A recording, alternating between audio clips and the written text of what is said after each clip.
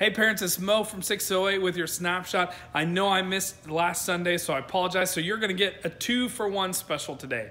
So the last two weeks, last week and this week, what we talked about was being thankful and what the Bible says about being thankful.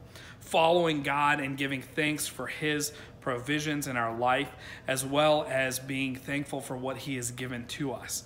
Um, so it's been a good time to just hear from the students what they're truly thankful for and be reminded that they truly do have these values of not just being thankful for materialistic things, but more of the relationships that they have with their families and their friends, having the faith, um, the things that God provides to us daily.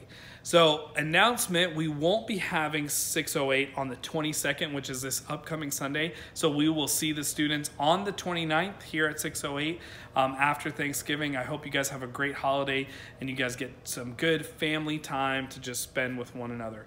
We'll see you then.